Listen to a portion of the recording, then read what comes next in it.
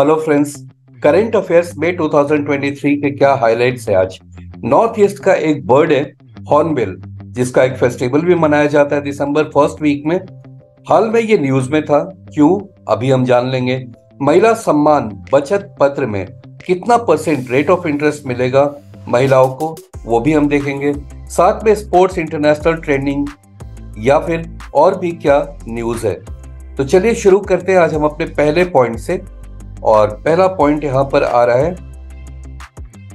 वो है, पहला अंडर सी ट्विन टनल ये भारत में कहा बन रहा है? पहली बार समुद्र के नीचे से ट्विन टनल बनाया जा रहा है।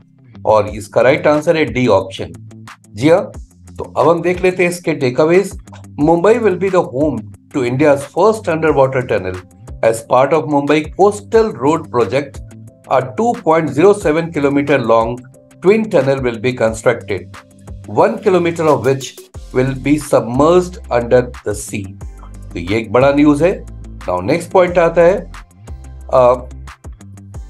in which country did Maharashtra deputy chief minister Devendra Fadnavis recently unveiled a statue of Maratha warrior king Chhatrapati Shivaji Maharaj इसमें से कहाँ पर छत्रपति शिवाजी महाराज का एक मूर्ति लगाया गया है जिसे अनवील किया है महाराष्ट्र के डेप्यूटी चीफ मिनिस्टर और ex chief minister that is Devendra Fadnavis.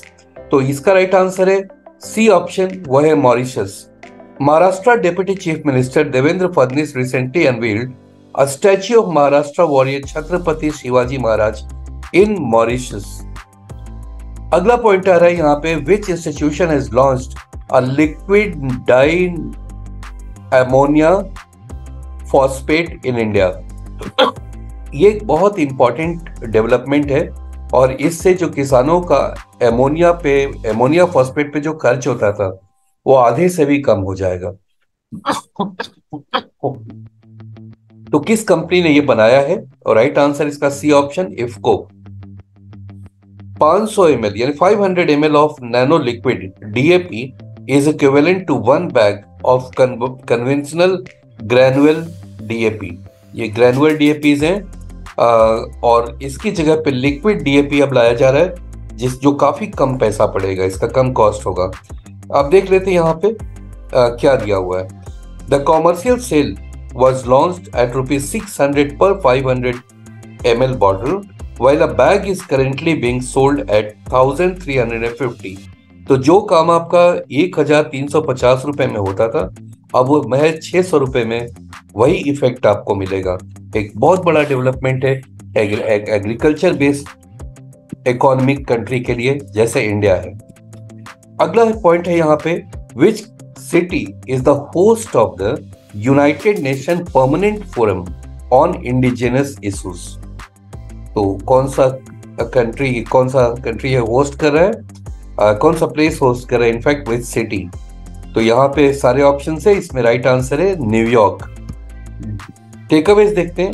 The United Nation permanent forum on indigenous issues will take place at U N headquarter New York U N permanent forum on indigenous issues is the largest annual gathering of indigenous people the priority theme of the session is ये theme भी आपको याद रखना चाहिए and that is indigenous people human health planetary and territorial health and climate change Rights based approach काफ़ी लंबा सा theme है ये ओके नेक्स्ट आ रहा है as of 2023 what is the interest rate on deposits made under Mahila Samman saving certificate account कितना rate of interest per annum मिलेगा और राइट आंसर है B option that is 7.5 percent takeaways देखते हैं Union budget announced the Mahila Samman Saving Certificate, a new small savings scheme for women, and was launched for investment from April 1, 2003. The interest rate on deposit made under this program is 7.5% per year. The UN, uh, the, the Union Minister Smriti Irani opened the Mahila Samman Saving Certificate MSSC account recently. Next are uh, India launched a net zero innovation virtual center with which country?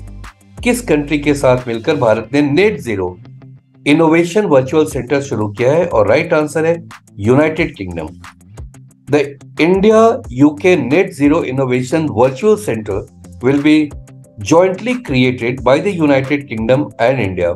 It will help promote collaborations between stakeholders from India and the UK to work on focus areas like decarbonization of manufacturing processes and transportation system, green hydrogen adoption, and more.